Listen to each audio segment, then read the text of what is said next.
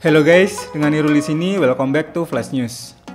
Tepat pada tanggal 2 Mei atau hari Kamis kemarin, Infinix mengumumkan dua seri smartphone terbaru mereka untuk pasar Indonesia, yaitu Infinix Hot 7 Pro dan Infinix Smart 3 Plus.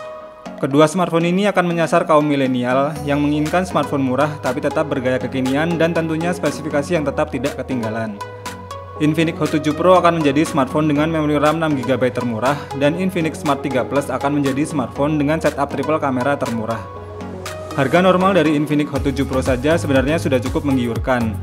Dan pada saat flash sale pada tanggal 7 Mei nanti, kalian bisa dapetin smartphone bermemori RAM 6GB ini dengan harga Rp1.699.000. Dan untuk smartphone bersetup triple kamera termurah bisa kalian dapatkan dengan harga Rp1.199.000. Mantap gak tuh guys? Meskipun harga normalnya saja sudah worth it, tapi jika beruntung dapetin harga flash sale, tentunya ini benar-benar akan menjadi dua smartphone dengan harga termurah dengan keunggulannya masing-masing. Kedua seri ini tentunya sudah menggunakan desain smartphone yang kekinian, yang meskipun di seri Infinix Hot 7 Pro terlihat poninya masih terlihat lebih lebar. Namun dengan poni yang lebih lebar tersebut justru menjadi kelebihan di mana kamera selfie dari Hot 7 Pro ini membenamkan setup dual kamera dan masih didukung LED flash. Sedangkan Infinix Smart 3 Plus hanya membenamkan satu kamera selfie namun menjadikan layar yang lebih luas dan lebih lega dengan desain poni yang lebih minimalis. Dari jeroannya, Infinix Hot 7 Pro hadir dengan lebih bertenaga dengan Helio P22 12nm octa-core yang dipadukan dengan memori RAM 6GB. Sedangkan Infinix Smart 3 Plus menggunakan Helio A22 quad-core 12nm.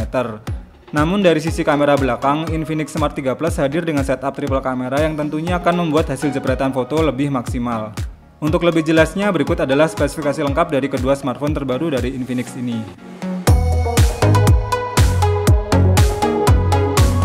Sepertinya teknologi ke depannya memang akan semakin murah ya guys. Jadi kita nggak perlu lagi tuh ngeluarin duit banyak untuk menikmati teknologi yang kekinian. Yang kalau diikutin memang nggak akan ada habisnya.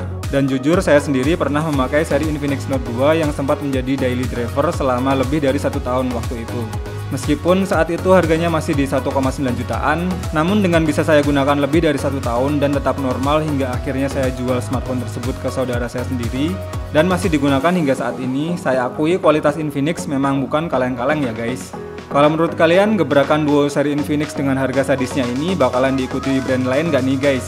Dan kira-kira brand yang mana dulu nih yang bakalan ngikutin tren harga sadisnya Infinix ini? Tulis opini kalian di kolom komentar ya. Sekian dulu video update kali ini. Terima kasih sudah menonton sampai habis and see you in the next videos.